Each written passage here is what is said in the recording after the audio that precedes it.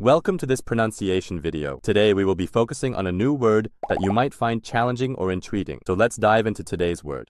얼마든, which means as much as in Korean.